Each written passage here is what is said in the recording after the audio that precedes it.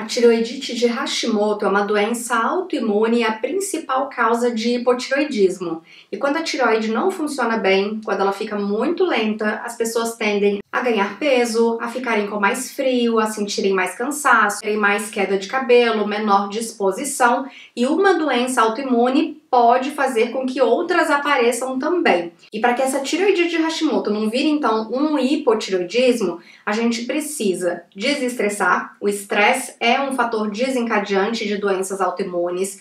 Dormir bem, quando a gente não dorme bem, a gente desregula uma série de genes e ativa muito o sistema imunológico.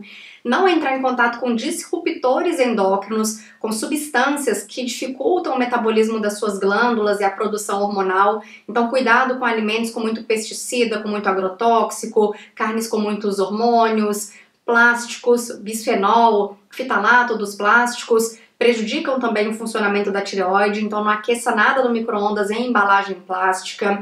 Além disso, pratique yoga, faça terapia se puder e consuma boas fontes de selênio, iodo e zinco.